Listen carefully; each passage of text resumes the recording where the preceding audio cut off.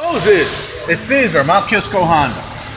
I apologize, I'm in my service department right now, but I wanted to show you this car. It's a 2003 Honda CRV. This is an EX model. It's in green.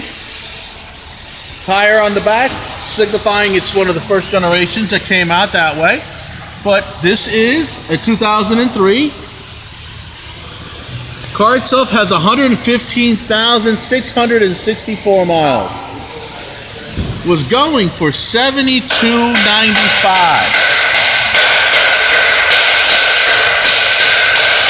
It's a nice looking car outside and inside for 2003. It's on my list because we're just getting it ready, doing the oil change, making sure the brake pads and tires are good, making sure that if the next person comes to this car is going to be happy with it. I like to invite you down, check it, look, test drive in this car. These cars tend not to last long. I like, like I said, invite you down. Come on down, test drive it, see how much you like it. Thanks for the opportunity to help you out. You have a fabulous day.